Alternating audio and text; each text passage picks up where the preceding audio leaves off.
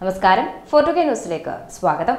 അനിഷ്ട സംഭവങ്ങൾ ഒഴിവാക്കാൻ രാമക്ഷേത്ര പ്രതിഷ്ഠാ ചടങ്ങിന്റെ കാലയളവിൽ മുസ്ലിങ്ങൾ അയോധ്യയിൽ യാത്ര ചെയ്യുന്നത് ഒഴിവാക്കണമെന്ന് all India united democratic front അധ്യക്ഷനും എം പിയുമായ ബദറുദ്ദീൻ അജ്മൽ ബി ജെ പിയെ ഏറ്റവും വലിയ ശത്രുവായി പ്രഖ്യാപിച്ച അജ്മൽ ഈ കാലയളവിൽ മുസ്ലിങ്ങളോട് വീട്ടിലിരുന്ന് പ്രാർത്ഥിക്കണമെന്നും ആവശ്യപ്പെട്ടു.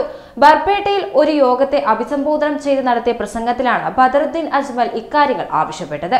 ജനുവരി ഇരുപത് മുതൽ ഇരുപത്തിയഞ്ച് വരെ യാത്രകൾ ഒഴിവാക്കുക. രാമവിഗ്രഹം സ്ഥാപിക്കുന്ന കാലയളവിൽ കാറിലും ബസ്സിലും ട്രെയിനിലും ഫ്ലൈറ്റിലുമായി ലക്ഷക്കണക്കിന് ആളുകളായിരിക്കും എത്തുക. ജനുവരി ഇരുപത് മുതൽ ഇരുപത്തിയഞ്ച് വരെ ബി ജെ പിക്ക് വലിയ പദ്ധതികളുണ്ട്. അയോധ്യ പള്ളി തകർത്തതിന്റെ ആവർത്തനം ഒഴിവാക്കാനും സമാധാന അന്തരീക്ഷം നിലനിർത്തുവാനും വേണ്ടി മുസ്ലിങ്ങൾ യാത്ര ഒഴിവാക്കണമെന്നും എം പറഞ്ഞു.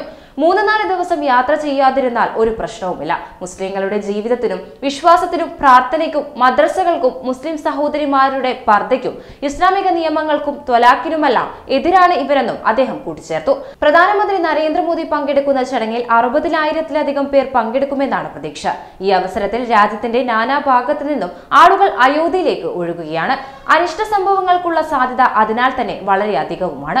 അതേസമയം ജനുവരി ഇരുപത്തിരണ്ടിന് നടക്കുന്ന രാമക്ഷേത്ര പ്രതിഷ്ഠാ ചടങ്ങിന്റെ തത്സമയ സംരക്ഷണം ഉത്തർപ്രദേശിലെ എല്ലാ ജയിലുകളിലും നടത്തുമെന്ന് വ്യക്തമാക്കി യു പി ജയിൽ മന്ത്രി ധർമ്മവീർ പ്രജാപതി രംഗത്ത് വന്നു. തടവുകാർക്കടക്കം പരിപാടിയുടെ തത്സമയ സംരക്ഷണം കാണാനാകുമെന്നും ഒന്ന് ദശാംശം പൂജ്യം അഞ്ച് ലക്ഷത്തിലധികം തടവുകാരാണ് ഇപ്പോൾ ഉള്ളതെന്നും ജയിൽ മന്ത്രി ധർമ്മേർ സിംഗ് പ്രജാപതി പറഞ്ഞു. എല്ലാ തടവുകാരും പ്രൊഫഷണൽ കുറ്റവാളികളല്ല. ചില സാഹചര്യങ്ങളിൽ അവർ ക്രിമിനലുകളായി മാറിയതാണ്.